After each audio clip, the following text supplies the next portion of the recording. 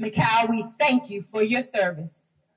And now we will have opening prayer by Minister Pamela Morete.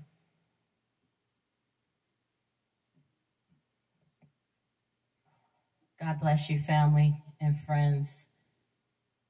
I'm the assistant to the pastor at the Cornerstone Church of Christ, where Reverend Dr. Joyce Boyer is one of our associate ministers. Let every heart pray. Father God, it is in your Son's name that we come, Lord, to thank you, Lord, for your servant, Father, Mikal Robinson Abdullah. We thank you, Lord, for allowing him to be a part of the lives of this family and the friends that have gathered here for this celebration of life.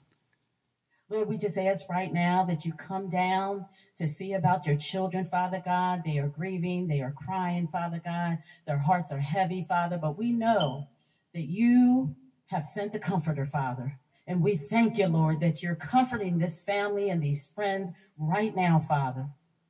Give them peace, Lord, that surpasses all understanding. Bless them in a mighty way.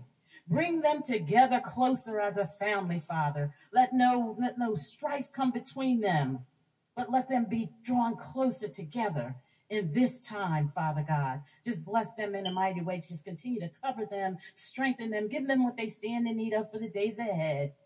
At some time, Father, the, the calls will stop, the texts will stop, the visits will stop. But let them know that they can always call on you.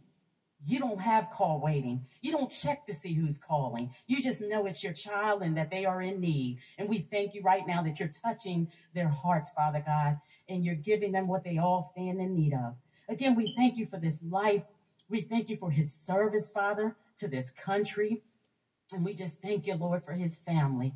Again, continue to keep your loving arms wrapped around them and bless them in a mighty way and just give them what they stand in need of. Give them what they can't do for themselves, Father God. Be for them what they can't be for themselves. Lord, we love you. We honor you. We give you all the glory, honor, and praise that is due unto you. Have your way in this service, Father. Have your way. In your son's name I pray, amen.